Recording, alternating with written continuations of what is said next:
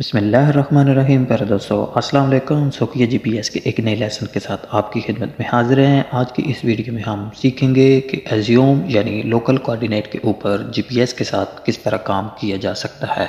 सबसे पहले मैं आपको पिक्चर दिखा रहा हूँ, जिसमें मैंने अपने एज्यूम कोऑर्डिनेट वाले दोनों बेंच शो किए हैं।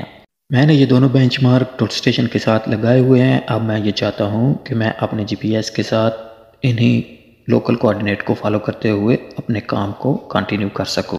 सबसे पहले आप इस पिक्चर को देखकर अपना कंसेप्ट क्लियर कर लें कि हमने अपने दोनों बेंच मार्क के ऊपर अपने बेस रिसीवर को सेट नहीं करना।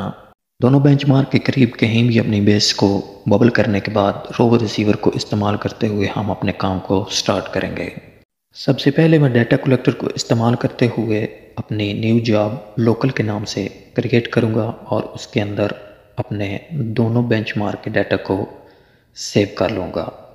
न्यू जॉब क्रिएट करने और उस जॉब के अंदर पॉइंट्स सेव करने के प्रोसेस की तमाम वीडियो आप मेरे सोकिया जीपीएस प्लेलिस्ट में जाकर देख सकते हैं। यहाँ मैं आपको एक बात बताता चलूँ कि जब हमने अपनी जॉब क्रिएट करनी है तो उसके अंदर हमने अपने जोन को मस्ट सेलेक्ट करना है। तो मैं सऊदी अरब में हूँ, इसलिए मैंने अपने जोन 37 को सिलेक्ट करने के साथ अपनी जॉब को क्रिएट किया है। दोनों बेंचमार्क के लोकल कोऑर्डिनेट अपनी जॉब में सेव करने के बाद अब हम चलते हैं अपने काम को स्टार्ट करते हैं। सबसे पहले मैंने बगैर किसी बेंचमार्क के अपने बेस रिसीवर को कहीं भी किसी जगह पर रख कर ओनली बबल किया है सेंटरिंग की ज़रूरत नहीं है।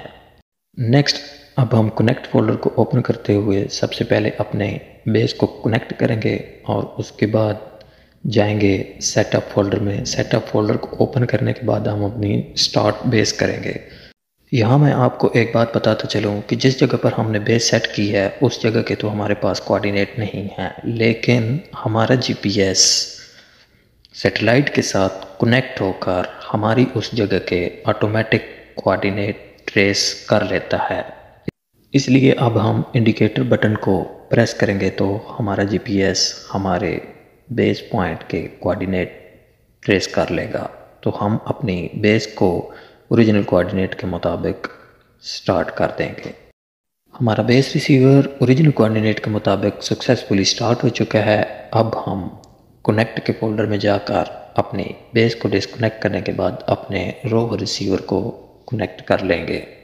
बेस एंड रोवर रिसीवर को कनेक्ट करने के बाद अब हम चलते हैं अपने फ़र्स्ट बेंचमार्क की तरफ़।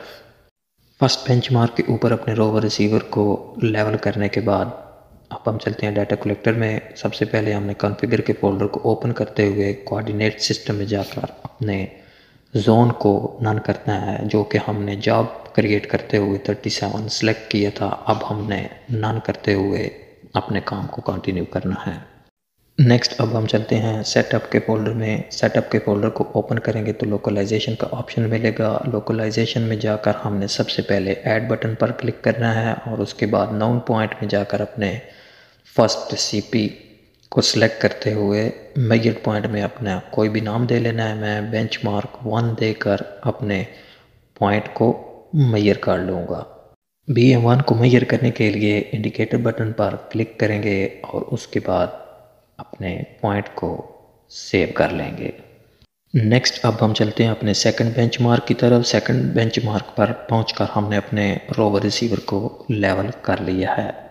फ़र्स्ट बेंचमार्क को मैयर करने के बाद, अब हमने सेकंड बेंचमार्क को मैयर करना है तो इसलिए हम कंट्रोल पॉइंट टू को सिलेक्ट करने के बाद दूसरे बेंचमार्क को बी एम टू नाम देते हुए इंडिकेटर बटन पर प्रेस करेंगे और उसके बाद अपने बेंचमार्क टू को सेव कर लेंगे। दोनों बेंचमार्क मेजर करने के बाद टिक बटन को प्रेस करेंगे और उसके बाद स्केल वाले बॉक्स को भी चेक करने के बाद डिटेल चेक कर लेंगे तो अब हमारा जीपीएस लोकलाइजेशन में कन्वर्ट हो चुका है। अपने काम को चेक करने के लिए हम सर्वे फोल्डर को ओपन करके टोपो ऑप्शन को सिलेक्ट करने के बाद अपने इस बेंचमार्क टू के कोऑर्डिनेट को ऑब्ज़र्व करेंगे। इंडिकेटर बटन पर क्लिक करेंगे तो हमें हमारे इस पॉइंट के कोऑर्डिनेट शो हो जाएँगे।